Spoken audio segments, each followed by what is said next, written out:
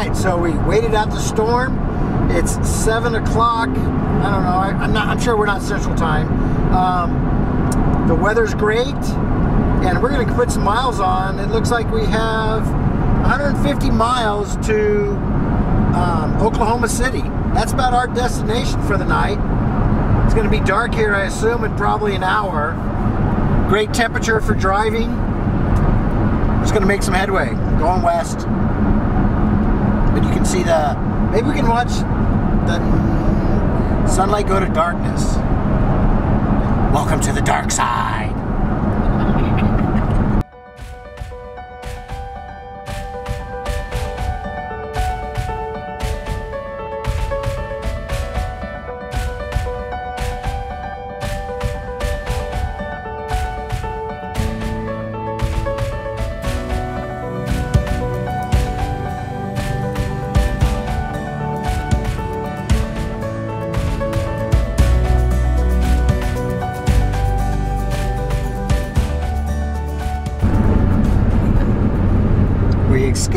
One storm. It looks like we're heading to, to another. On it. Still going west. Not turning around.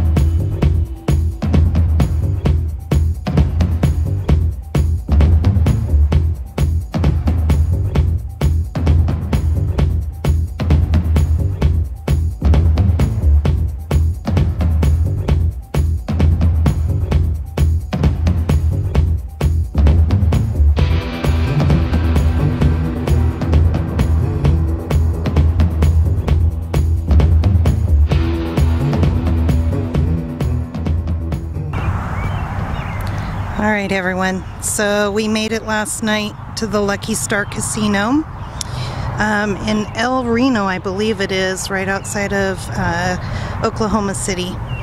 And this morning when we woke up, Dana from Full Tiny House gave us a text and said that there was a severe storm warning coming our way.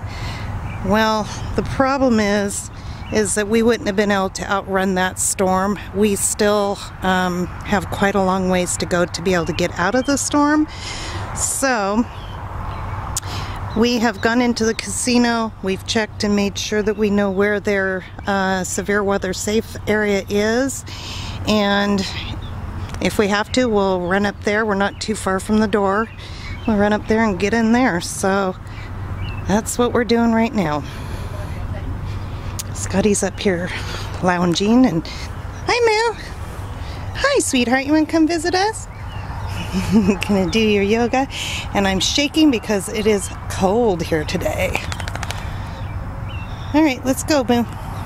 So severe storm with significant threat for tornadoes, hail, flooding, and expected to move across Oklahoma on Monday. So we're just gonna sit tight and ride the storm out. Hopefully it goes around us. So what do you think of the storm? Because you know how I feel about it. I would have been I on know, the road. well- but I know we can't out we can't outdrive it. We so couldn't outrun it today. Yeah. We're on the edge. I'm just going to relax a little bit. I'll be up and listening and watching it uh, later this evening. And if need be, I'm running inside that uh, yeah. shelter in there. So The rig is replaceable, so Right. Yeah, we've been uh, following storms and we dodged one yesterday somewhat, and then we drove right into sitting in here in the middle we of rushed one. ourselves into another one. So Yeah. Well, that's it'll the way pass it and we will get the heck out of here. Yeah.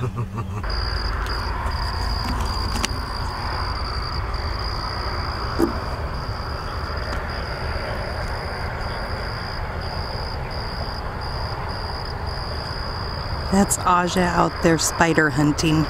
There's a few out here.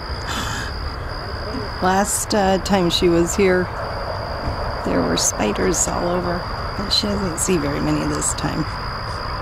Come, I leave you to your spider hunting. Spider hunting.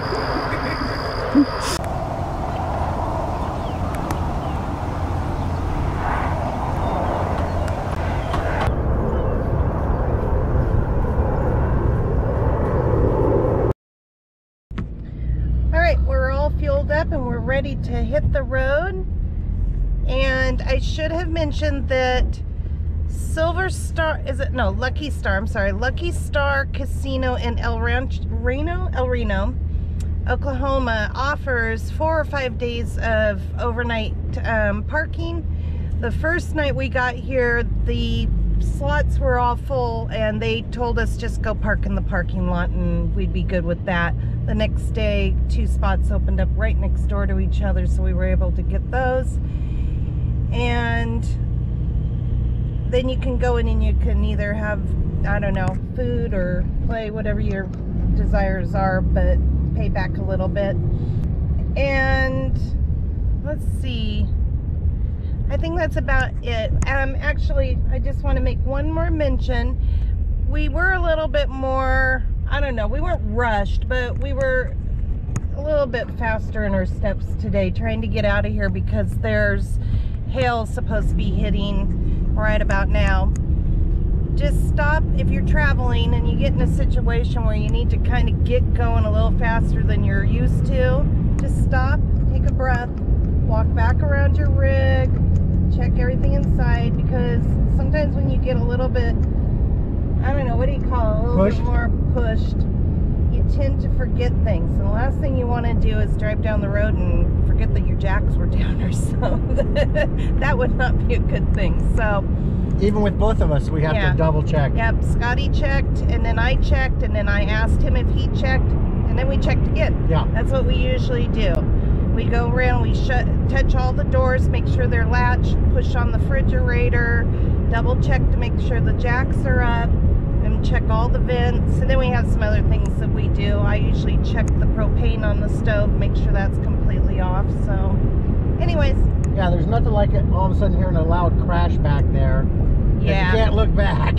We have had it happen a couple times with the refrigerator. We get Yep. in there, get something, and it clo- it feels like it closes, and it actually didn't latch all the way. So we always try to check that one. And that usually happens when we stop at a rest rest stop. I Yeah. get in there to get water, or Scott gets water, and then we forget to push it. And we get lucky because usually it's sour cream that explodes all over the place, Yeah. or the ketchup, or uh, the the bottle of um, pickles. right. So, Pickle juice is nasty. Yeah. All right. We are going to turn you guys around, let you see what we're seeing. It's just a cloudy day and it's a stormy day. It's a travel day. Definitely coming in. They are pretty uh, worried about the flooding around here. And I think rightfully so. This, I believe, is from the other day. They got flooded out pretty bad. So that's what they're worried about here. They're worried about the tornado. It is a level 10, isn't it? Is what they were saying Uh, whatever, yeah. on the I don't know what the scale is, but there's a scale that they go by and it's on a 10 for this area for tornadoes. So we're just gonna somebody's blowing off some steam over there. yeah, Look at that. just gonna get on the road and see if we can right, so we're on Highway 40 heading west. This is the first rest stop we came across. All the other ones were closed here in Texas. I guess we're probably 38 miles from the border. So they really have a neat setup for uh, being underneath. I don't know how good it's going to be for uh, a tornado, but we're still in tornado watch right now.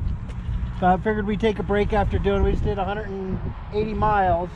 Take a break and then we're going to head into Alm, Almarillo. So neat little place. I noticed their uh, their fire pits here are in the shape of Texas. It's kind of cool.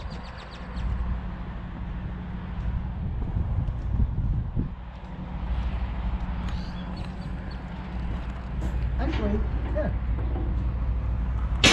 Seems like there should be a handle on it though. But pretty neat.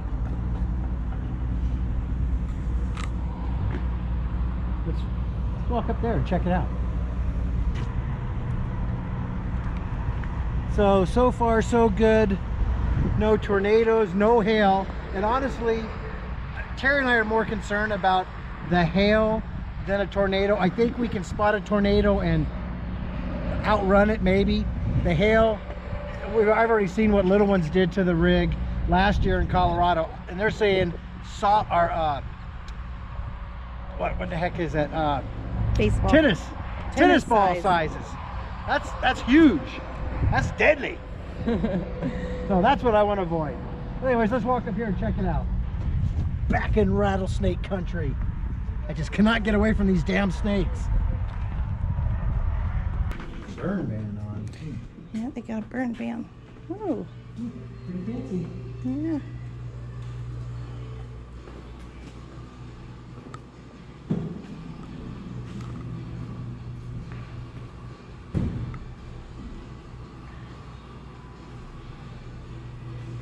Got Some information here about the wind power.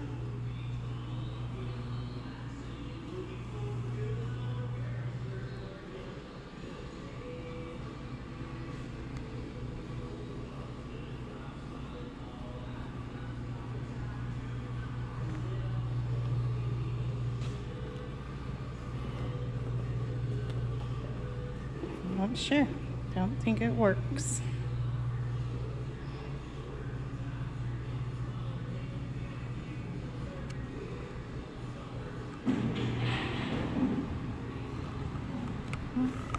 A black rain.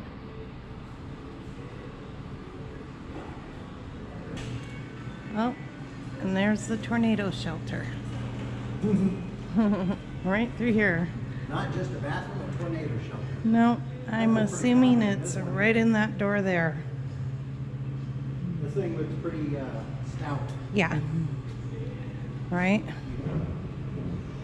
Okay, so we know where that is because we are going to sit here for a little bit and take a rest.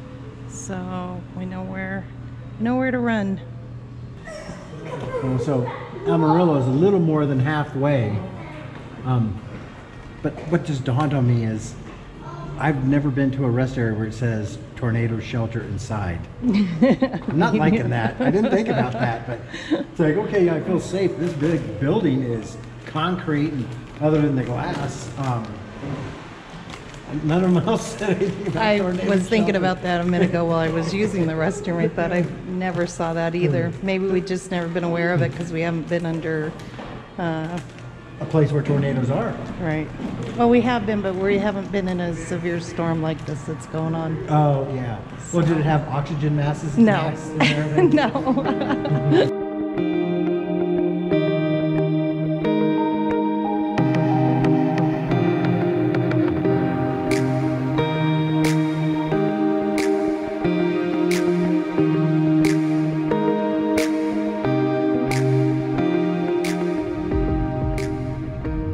we stopped here in Amarillo. The weather is not looking promising according to all the reports. Supposedly hail's on its way. That is one thing I don't want to deal with. So we're gonna go to Vega, Texas. which is supposed to be like in the 70s. Yeah, it's in the 70s. And it's, And it's, it's like- 58 degrees here. 40 minutes away. Yeah, I think we're in a real low trough and just a bad area right now. So we got supplied. I'm going to go up to Flying J, which is 32 miles away, fill up my propane. And we're lucky that we got out of uh, El Reno. We're Yeah. happy that that we got out of there. They had tornado sirens today. That touchdown. Yeah. So, a good thing. Didn't hurt What- anybody though, thank No. goodness. When somebody gives you a warning and says, get the hell out of here, you do it. and I took the advice.